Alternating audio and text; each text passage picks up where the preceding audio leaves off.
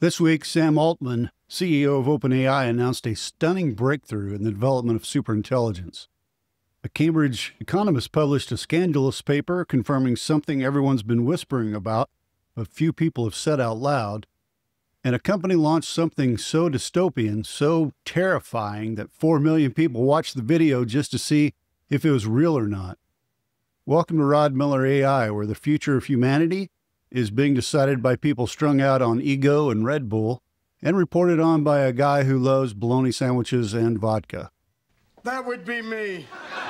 Hit that like and subscribe button if you would. It's a thumbs up button. Share this with someone you're stalking uh, currently uh, who needs to understand why the world will never be the same again. Maybe, probably, well, at some point, more than likely or not. Let's go. This is drugs. This is your brain on drugs. Any questions? So, what was Sam Altman's stunning breakthrough in superintelligence development? Did ChatGPT just cure cancer? No. Did it solve climate change? Also, no.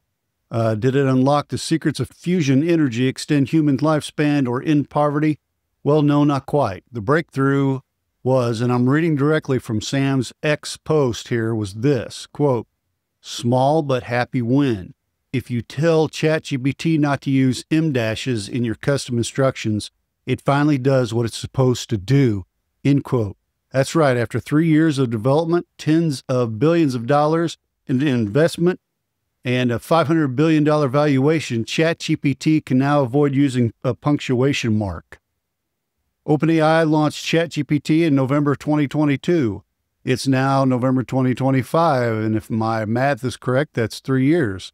They've raised more money than most countries' GDP. They're promising artificial superintelligence that will cure every disease and extend human lifespan. And this week's win punctuation control. One user replied, The fact that it's been three years since ChatGPT first launched, and you've only just now managed to make it obey this simple requirement, says a lot about how little control you have over it. They're building an intelligence that's supposed to understand cancer at a molecular level and develop cures with zero margin for error. And it took three years to teach it not to use a dash, a line on your keyboard that's slightly longer than the other line. But you know what women say size doesn't matter. That's what $500 billion in valuation gets you. Grammar, eventually, if you're lucky, and the next software update doesn't break it again. Meanwhile, Cambridge economist William Janeway published a paper titled In Search of the AI Bubble's Economic Fundamentals. His scandalous conclusion that everyone's been whispering about but nobody wanted to say out loud is we're in a bubble. Really? OpenAI is raising $30 billion from SoftBank at a $500 billion valuation this week. That sounds impressive until you learn they lost 5 billion in 2024 on 3.7 billion in revenue. Their expected cash burn through 2029 115 billion dollars. So the business model is lose 5 billion dollars annually, commit to burning 115 billion more, celebrate punctuation control, raise money at half a trillion dollars. I think I could do that. Maybe maybe I could get a job there. Oracle issued a 30-year bond to fund AI infrastructure. It's already down trading at 65 cents on the dollar. The economists warned that AI market crash could wipe out 8% of U.S. households' wealth and cut GDP by 1.6%, triggering a consumer led global recession. So they're building a bubble that could crash the economy, and the breakthrough they're celebrating is em dashes. And then there's the dystopian thing that 4 million people had to watch to believe.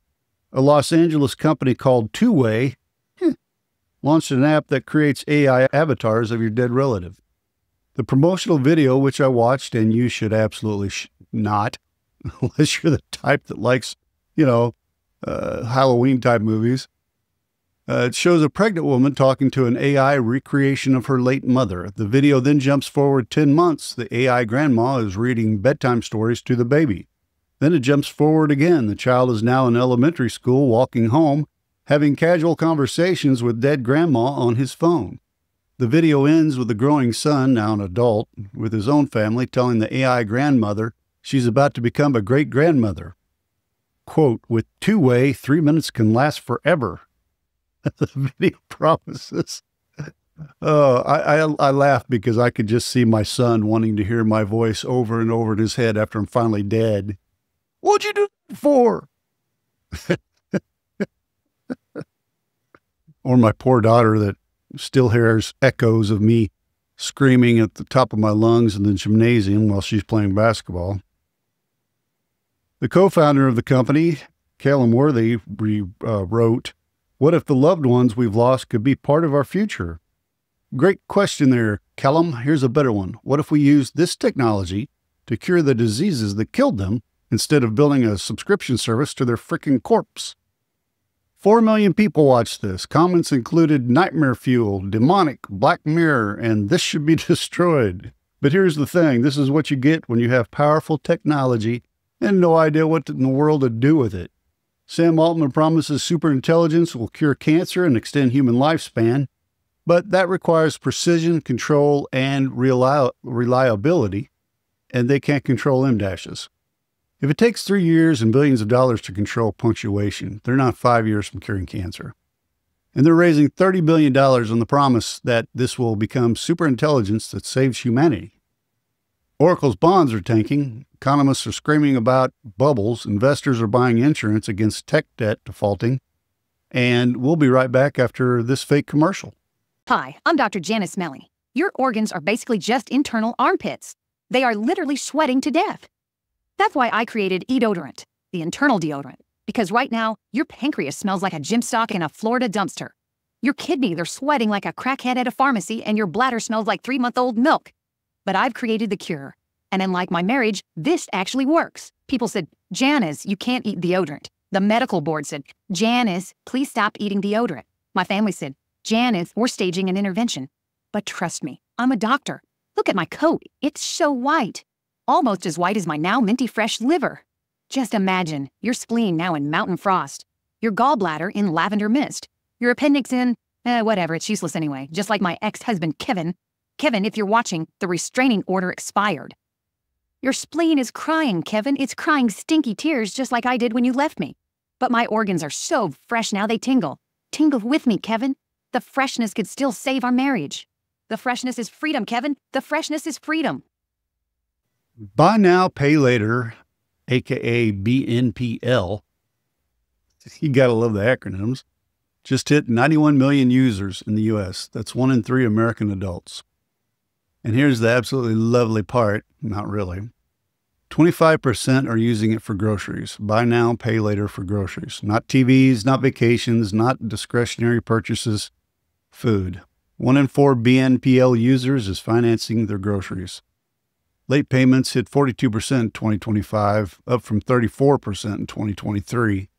And most of these loans don't show up on credit reports, which means there's a massive gap between people's perceived financial health and their actual financial health. So, when economists warn that an AI crash could trigger a consumer led recession, this is exactly what they're talking about. The consumer spending propping up the economy is being financed by invisible debt that's being used to buy groceries while the tech bros spend hundreds of billions building data centers to teach ChatGPT grammar. Luckily, they're building AI tools to make spending easier as well. Google will track prices for you and auto purchase when they drop. No friction, no decision making, just consumption. Ding dong, your milk and cabbage are here, and at the lowest price, too. Make some soup. This is the economic foundation supporting the AI bubble. People borrowing invisible money to buy food while companies burn $115 billion teaching computers punctuation. Totally sustainable, you know, nothing could possibly go wrong with that. So here's where we are 91 million people are borrowing money that doesn't show up on their credit reports to buy food, while Oracle borrows visible money to build data centers that train systems to avoid using dashes. It's a circle, a beautiful, horrifying circle. The broke people finance consumption. The consumption finances ad revenue. The ad revenue finances AI development. The AI development produces grammar assistants and dead grandma chatbots. The grammar assistance helps nobody. The dead grandma chatbots traumatize children.